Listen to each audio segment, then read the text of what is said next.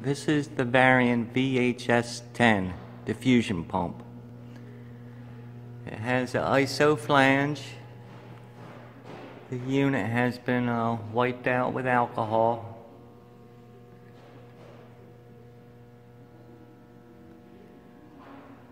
Uh, it operates at 480 volts, AC, three phase.